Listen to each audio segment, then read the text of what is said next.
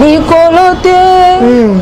na sepe te hmm. na nzoto amama ah, mama nalela eloko mabe hmm. ah, jitro esala nga bie ntango namoni na image na le padre place nayaki na gangi na bi natiki kutu commentaire mona bi tala ferekola azosala dynastie na esprit moko boye bayuma mna bavide en tout cas ye azocontrole tout azomesure donc le padre featuring euh, ya orly gola mm. esala biso bien miwa oyo soki mpe ya monaco wana mais sur présence ya le padre na festival streaming film monaco mm -hmm. eboti bango nango nayebisi yo eh, ngai na abina na bareserve ya loba makambo mosusu sikoyo mm. eh, mais wait and see mm. wait and see yani lo moko mm.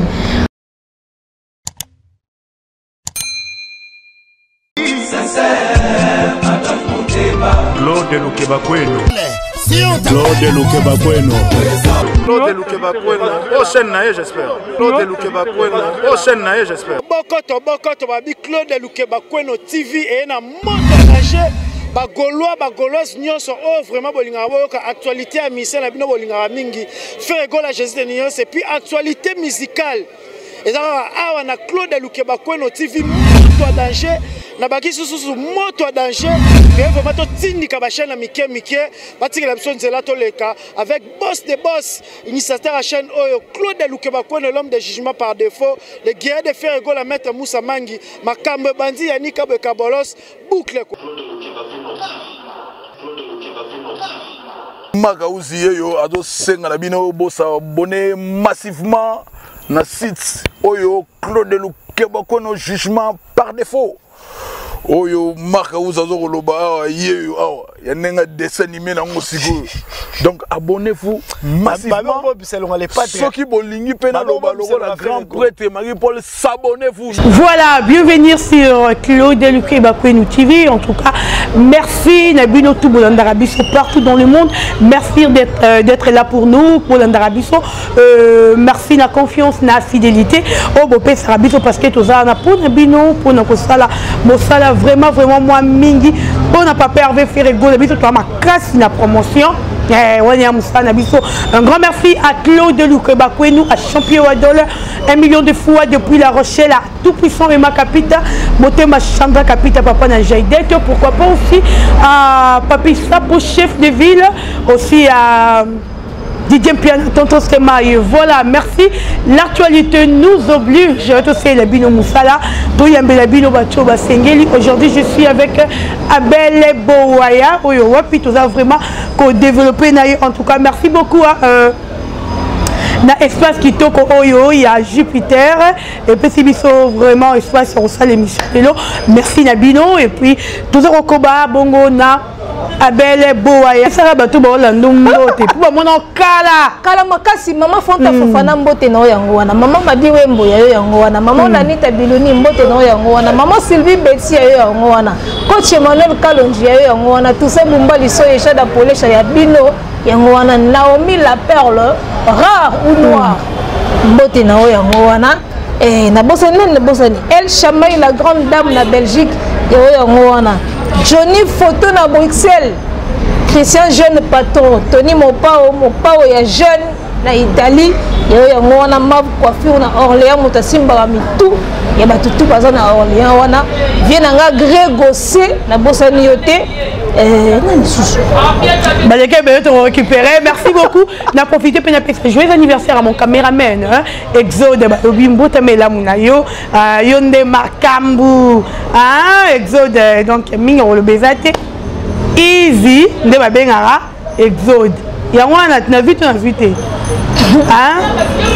voilà merci beaucoup mbotama elamu na mama mpe ya baexode bambotama elamu na yo voilà abel boaya tokota directement na bartolité na biso nakangi bomi yango mpena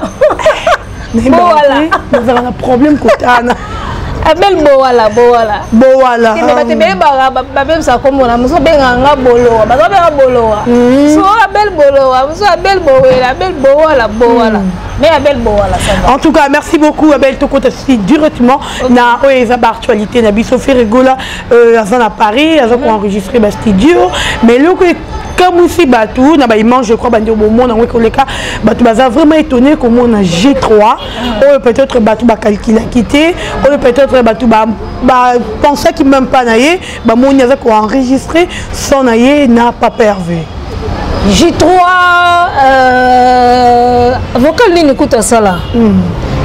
ah j'aimerais bien nazala na vocal na ye moko asala voi g3 esalaka nga bien ntango namoni ye na image na le padre mm -hmm. place nayaki na gangi na bi natiki kutu commentaire mona tala fere kola azosala dynastie na esprit moko boye hmm. bayuma muna bavide en tout cas ntango namoni eza j3 na studio serge mabialo déjà se enregistraki bato ba deuxième voix ntango hmm. namoni j3 na studio mhm. nabi bana moboye bakufi en tout cas c'est-à-dire que le peuple azotravaille na mayele vraiment ya coach mm. il a été euh, président d'orchestre chef d'orchestre pardon na maison mm. mère mm -hmm. azo travailler na état d'esprit mpena ya coach mm. nde bacoach bacoachana baéquipe ya football mm. cestadire ke soki ayebi ke place oyo ndenge azoyokela yango il faut mm. deuxième ya yo nde ya wana mm -hmm. yaya okoya wana en tout cas soki ayoki kaka biplace oyo nde naoyokela yango il faut kaka ye nde akende nango okoya wana mhm. eza teke yo tyaka wana ye aza te mm. obokende oka bongo ye aza te te soki wana esengi yo yo okoya wana mm. en tout cas Euh, J3 mon gars bienvenue na dynastie toyambi yo malamu en tout mm. cas ngai nalobaki bandeko nyonso oyo bakoparticipe na dynastie tokolobela bango mhm. tokosalela bango promotion parce que bazo mérite yango vraiment mpe ngai yeko esanga plaisir faire azongisi su j3 na actualité pour le moment so oyambi j3 otalama ebele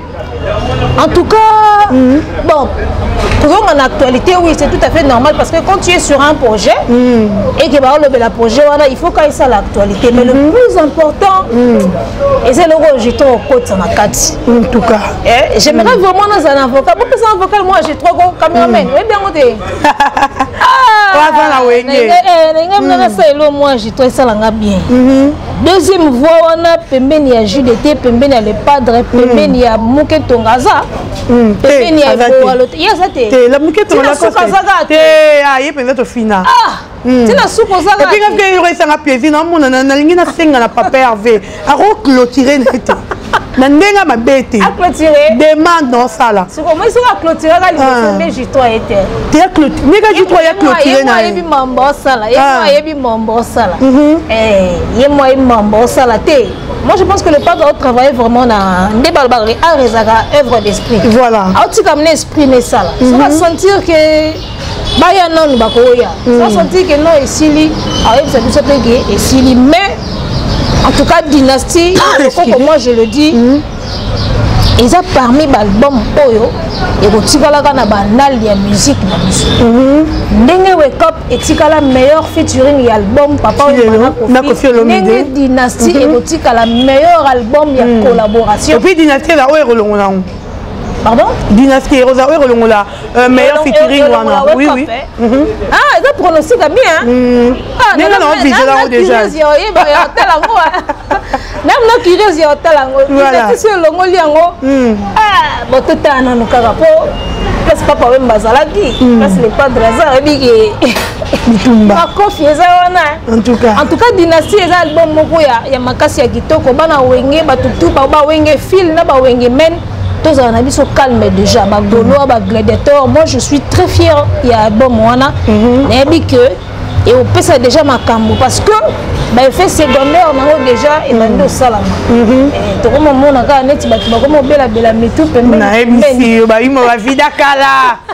Mm. Eh, ngai esala nga bien temps namona mm. bongo eh, mokolo so abeti il faut ai moko elela quelque part so mm. ai eleli te seke kaka routine bato babeta baacoustique donc omona fere asalaka bademande moko nayebi te atangisaka bato yango ndenge nini parce que tirelo bato baokontinuaka kobetaka baacoustique eh ondire eza esila te demande yango mais oui acoustique le port de ndenge afungolaki nzela mais faut pas olanda te déjà il faut comprendre que toana periode moko boye Euh, culture na biso ezo souffrir na événement oyo ya covid-19 voilà baconfinement epai mm. bakanga bino lelo bafungola bino lobi basala mm -hmm. boye epuis na minute oyo babiloko lokola baoma acoustique wana soki eza te hmm. ebika eza mwa mobulwa hmm. depart auta kobeta concert awa na bra congo hmm. bra congo makasi eloko nini esalaka fere ya chef amonaka public bazalaka na mwa souffrance moko boye peut-être ndenge baconfinaka biso liboso abetela biso homme acoustique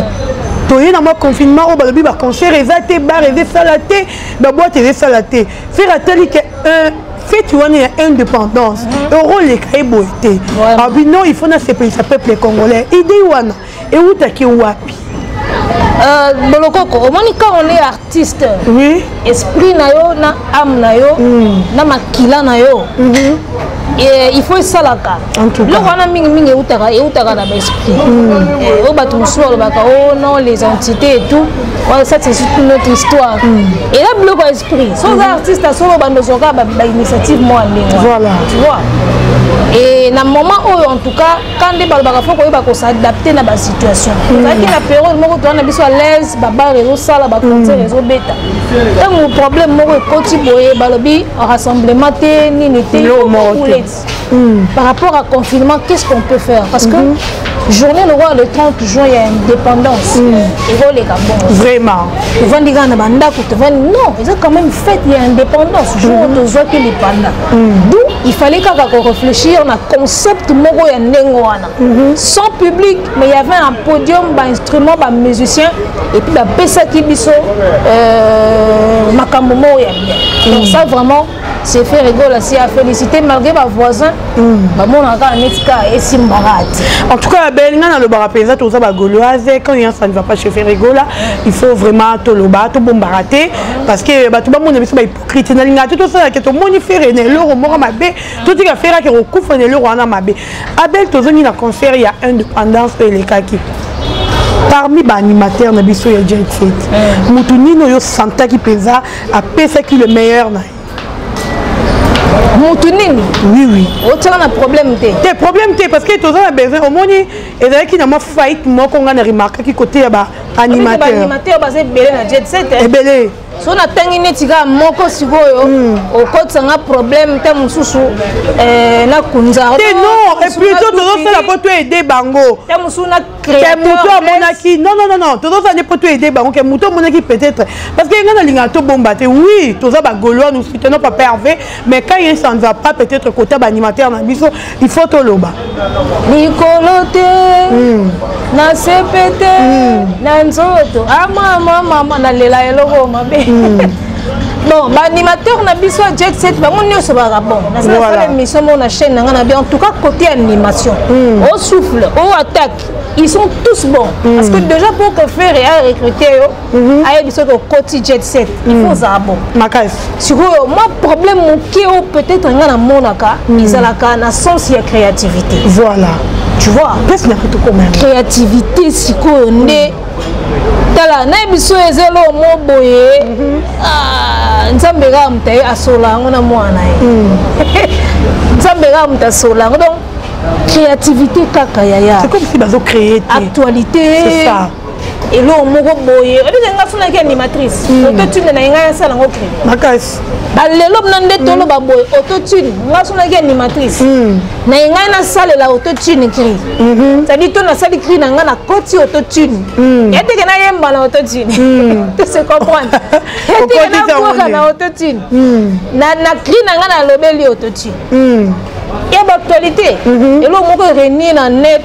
tout ça récupérer ça mettez mm. ça na batterie voilà nasepelaki na bill clinton ntango abwaka na dynastie ke wenge hmm. abaki wenge eza nini ah, cri yango deja ekimi nga donc hmm. abwakaki kaka cri moko nde kaka wenge esangani hmm. na banda otuna animateur nini ya okoma mhm. mi namonaka bill clinton nsengo toki bende na studio abimisa cri moko ya ndenge wana place nazalaki mpena na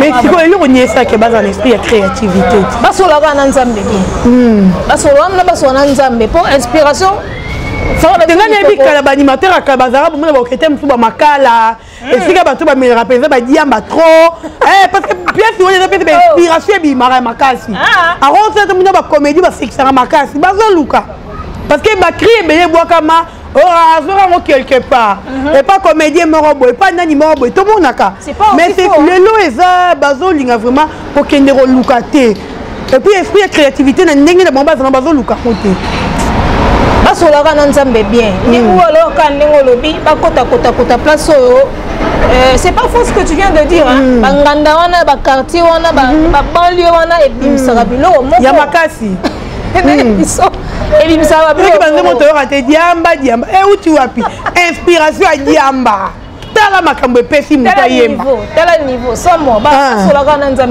voilà merci beaucoup abel merci aussi à Claude Lukebakwenu, pourquoi pas à Wetumampa. Merci à vous, Wetumampa. Balobi wana. Euh, mutu na biso moko spécial oyo asoutenaka claude luke bakwenu tv wetu mampa ya yo yango oyo et voilà abel toza kaka na yo abel ferregola na studio mm. je crois ke baotiela biso image na orligola eza nini fere alingi akomisa famille mobima bakoma bachantre to ndenge nini cherigola origole Le baron Biangema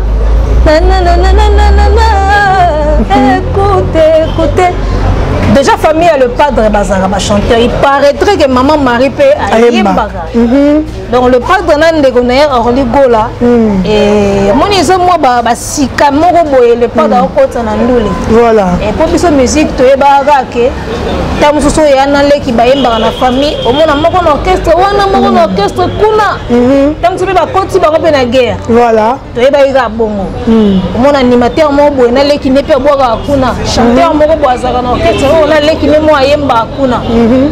sikoyo le padre soki akomi na systeme ya koyemba na bana mm. to koyemba na baleki na bandeko atuka eza mwa kisika moko boye ezala te na miziki mm. mwa kisika moko boye mhm. tozela ngamna naozela mm. azela sikoyo na batembre nde ezalaka ndeni bakoya te basamu bakritike na bango nde bamesana niveau etali bango hmm. niveau etali biso te hmm. nga nazalaka namona tembo ya ya ya orli gola aza mwasi mbali aza mwasi naye mobali orli mhm. esala bien parce que ferre gola c'est un grand coach voilà le padre mosala oyo asala na maison mère hmm.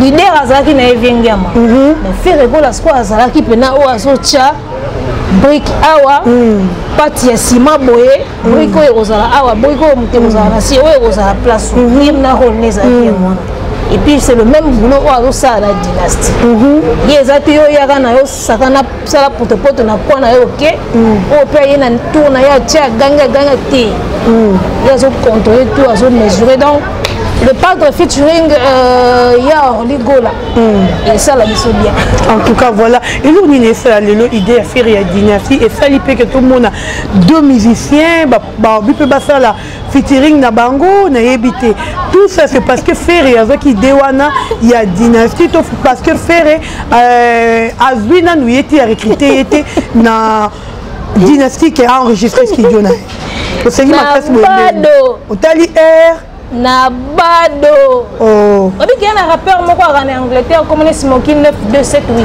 ah. na bado naye biso mm. mm. ve nanga bwana moshini daka na chine eh. ah. aka na chine donc ve wana eh, yesu alobi 12 heures 12 heures mm. mm. na bado naye biso na bado mm. elakisi nini hmm? na bado elakisi nini naye biso na bado nazo comprendre te nayebi te patrick elema euh, lemba est ce que ozo comprendre makambo elaki fini nayebisi yo bolokoko mhm. na bado mhm. nakoti kaka na internet boye namoni nono mhm. innocent na rebo esalinga bien rebo na zemi yebi bado naye biso ah bon voilà abelaki mine question abela boaya eh, dynastie harmonie tokomi na niveau nini dynastie na apprenaki lobi que plus de 5 clips déjà carré ok harmonie nombre moko boye baclip déjà carré mm -hmm. sikoyo nde toza boye mm. ebike lepardre sikoyo azotala kaka climat hmm. ya kin bamisi babi ofere abanga parce que confinement yango akobimisa te sikoyo oyo makusi tokonsomaki yango c'est vrai que confinement mpe ezokase mambo ebele mhm. wana tokoki koignore yango te mhm. eh, banguma mpena ndenge ezalaka na kala ezozala su te mhm. mais rien n'empêche que lelo mondele asala biso asunga biso tokóma na baplateforme tokóma na internet yaya mm -hmm. confirme ezali ezala te bwaka clip stream eyali voilà snap nini oyo ezali babenga yango nini batiktok ezali euh, ba 10 mm. heures ezali mm -hmm. ocomprendre baplateforme ya téléchargement eza tokokende kuna toconsomme tostreame tostreame tostreame mm. epuis na baplace oyo ebetaka ebeta kaka parce que même si bakangi kangi kangi mais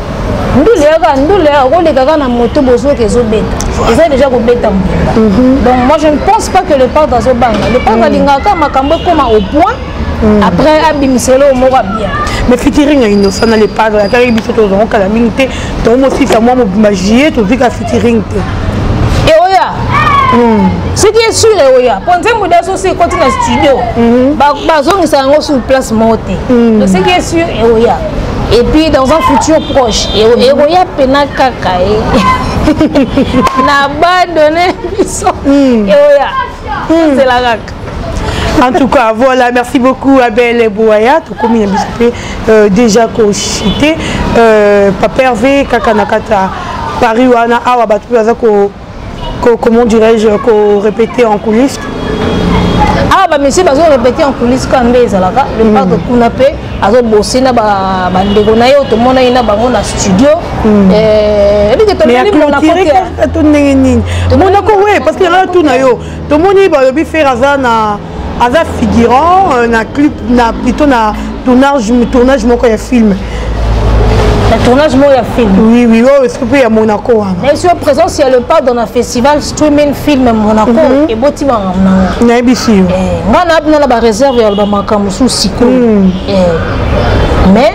wait and see hmm. wait and see yani lo moko hmm. esi naoseka boye ezaka nini Hmm. nayoka plaisir en tout cas e moto abatami aleki na mayele mosika mona kaka voisin otepatepa otepatepa nga sikoso natali biloko tobombela ye naoseka hmm. au niveau ya dynastie tout tout harmonie eh. makambu harmonie hmm. eh, eh, na bisa yo Eh. nga na ofinga nga na bato otii siko bokoti na dynastie te bosala effort ya na trois album oyo ekotikalaka na histoire musicale ya congo en tout cas légende ya mopao mm. dynastie ya le padre na harmonie ya le padre mm. bokanga data lelo mm. baalbum oyo ebimaki na décembre Hmm. tokosana te hmm. ebeti nango banzadi mais wera fana confirme yebi to ke zenit de paris ferigola kozala ferigola na zenit de paris en tout cas ça japon hmm. na apprendre eka nde oyebisi nga bo mhm. mais euh, je pense que soki le padre akozala eboma nango mpe motu te ezala mpe mabe te dans le sens où ye na père na ye batikala na bango mpe kobebana te solo na bandenge voilà vois mm. eh, eza lokola bato mosusu te papa oyo abimisa yo okomisi ye ndoki mm. okomotinga ye okomotinda na bato bafinga ye mm. basakana na ye mm. tu vois mm. eh, mwa baguerre banini eza nango musique ezangaka te mais le pardon na père na ye bakenda mpenza na baniveau moko boye te voilà eh, donc soki ozala na zénith eh, naomona susu phénomène wa mbote mbote nayebi se makambo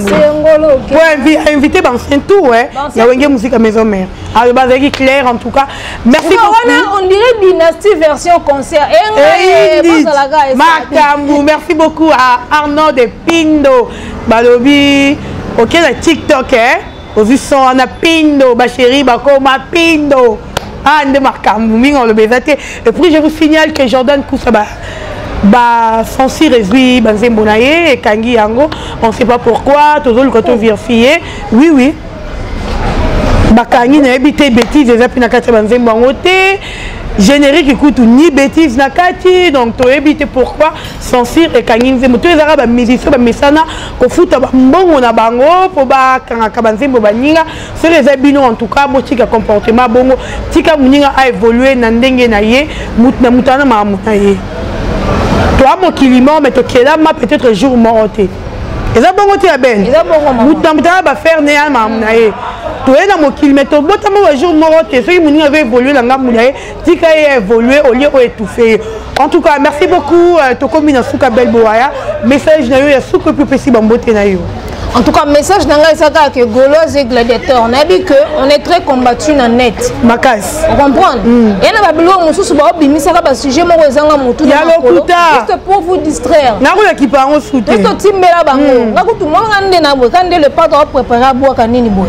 Karamo bo. Yo sakana te.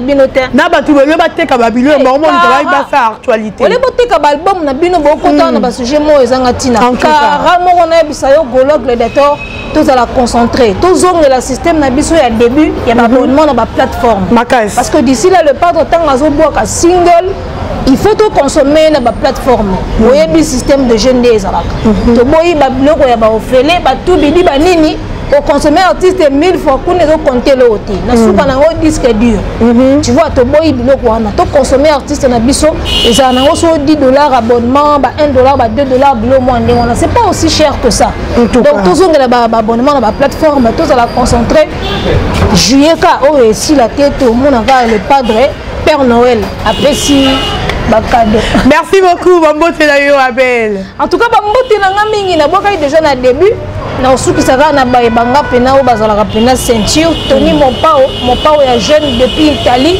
eh, jeune patron mikolo na obenga ye bongo smoky 9278 rappeur congolais na kati ya angleterre oyo atombola drapeau rdc mopanzi wana vie na nga bwana moshini d'agence de fret maritime oyo etiki baagence tout na défaut on est ensemble mon vieux mave coiffure simbela nga mitu ya orlean mobimba talaka yo vie na nga gregose